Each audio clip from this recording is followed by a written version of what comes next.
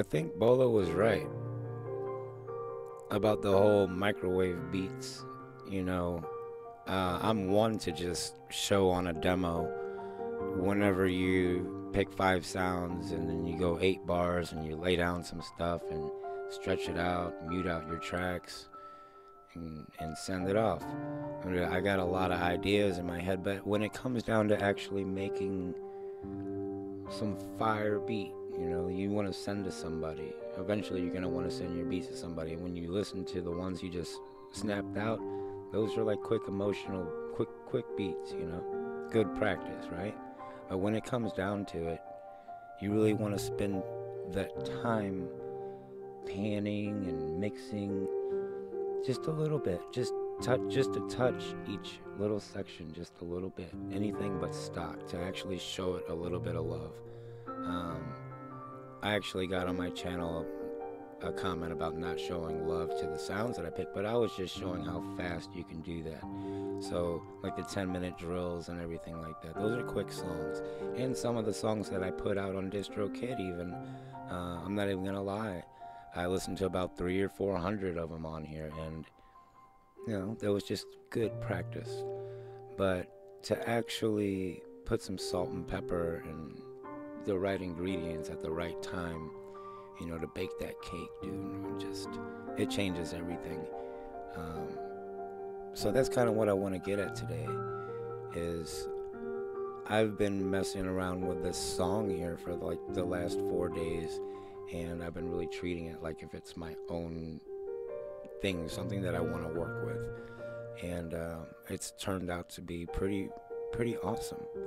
Um, I'm into background music, so I like things to be able to be, and if it works for me, I'll put this in the background in the whole video. But I think he was absolutely right about that. Um, when I'm not making beats, I'm in a pizza shop, and we just get award after award now. And but it, we've been open in almost 20 years. It's going to be our 20th year anniversary. I don't really bring it into the channel too much, but that's what's going on and we started with no advertising and a lot of hard work and dedication and it's just something that we liked doing. And now it's hard to get you got to pay for it. But um, just like in the, in the music business though if we microwaved our stuff nah dude. When when when he said that uh, when you cook an ingredient or you cook a meal low and slow, you know it comes out better. And he's absolutely right. I mean, you got to treat it just like that. And again, having two businesses is just random stuff, but if you have two things that you love, it's like you want to give up on one of them. It's like I don't want to do studio because I have to do pizza or I have to do pizza and no studio, you know. And the thing is, you have to treat it just like your music. Is what I'm trying to say. It's what is coming out, okay, is it's yours and you have to love it and love both of them the same way you would two of your children. They're part of you. And you have two kids, you can't just love one, right? Same with your business. You have to treat it the same way. So I'm really starting to put a lot of love into both, and it, it does pay off a lot. I've always, they had to at the shop because it's bread and butter. And you guys can look up the shop. It's called La Pizza, and just look up best pizza in St. Louis, and we'll pop up. But yeah, I don't cross too much with that on this channel. It's not what I do.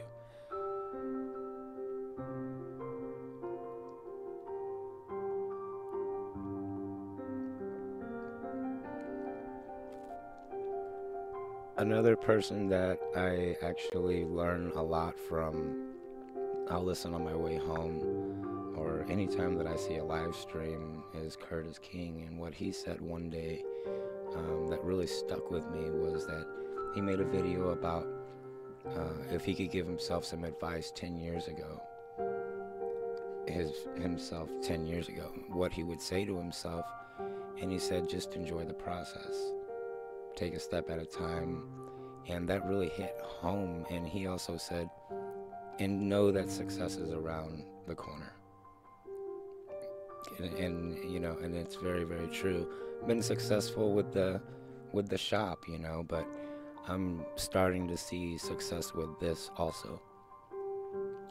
And uh, just kind of wanted to document something and let it out there, see what's up.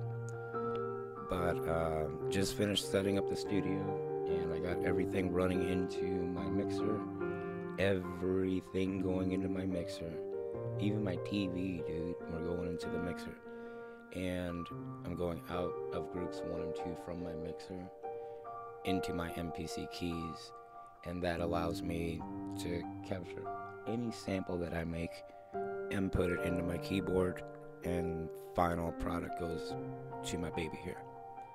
So if you guys like to see different stuff like that, different music and stuff, if you're new, then um, you can subscribe or like or whatever. Just hang out for a little bit.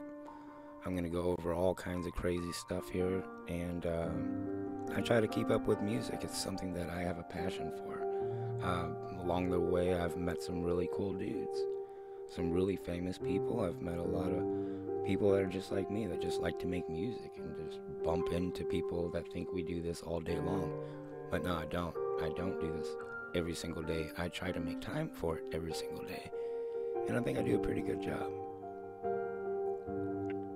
really the only reason I think I need the 100,000 subscriber milestone would be because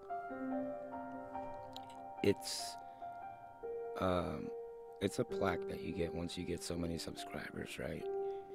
And I think whenever you get that, you know, no copyright strikes, no no nothing, you know, you have to have a pretty legit channel, right?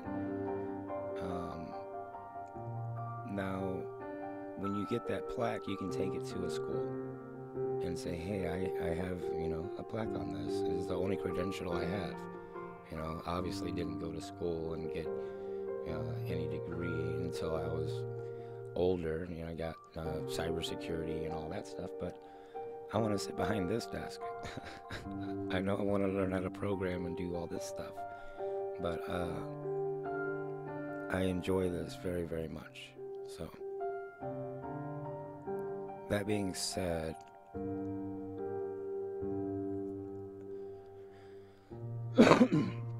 there's a few things left. Like, I watch a lot of videos, and a few things that stick with me Or you know, there's so much time in a day, and if all that time was money, you would wake up and try to spend it all, right? And try to give it away, try to do everything. Well, if you look at your time like that, it's just as valuable, you know, in a weird way.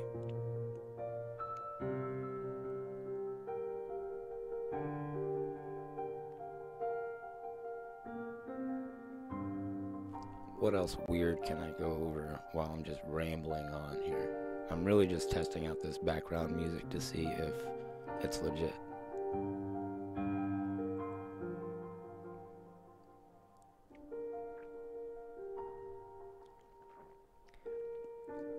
I love Wawa. Wawa is like the best gas station in the world. I think I could quit doing everything and work at a Wawa gas station and be happy for the rest of my life. they have everything. Anyway, again, I go over different ways to hook up all kinds of weird gear and I try to answer every question. Sometimes I don't get them for a month, so if I don't answer, mm, you it is because I didn't get the the dilly bop. That's the noise it makes whenever the message goes through. It goes dilly bop.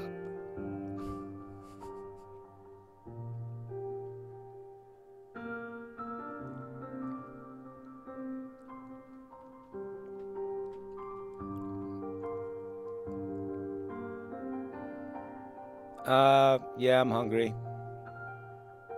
Okay. Fat burrito time.